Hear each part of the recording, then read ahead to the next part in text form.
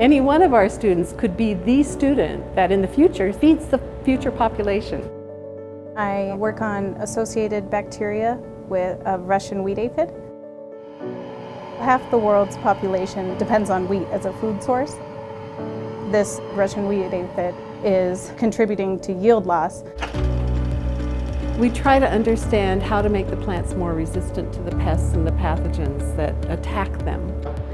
What I think is special about this place is the faculty, the environment.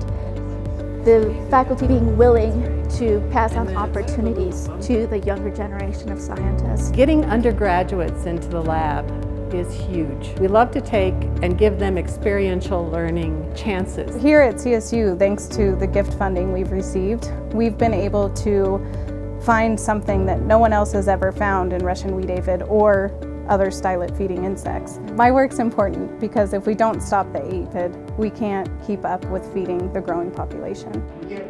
It's money that allows us to explore, either as an individual when you have scholarships and you're able to explore an educational field, or as a scientist when you're able to grab one of those ideas that you just need, you know it's going to work and you just need a little bit of money to go into it. And that's what sort of the fertilizer that, you know, that the seed needs in order to grow.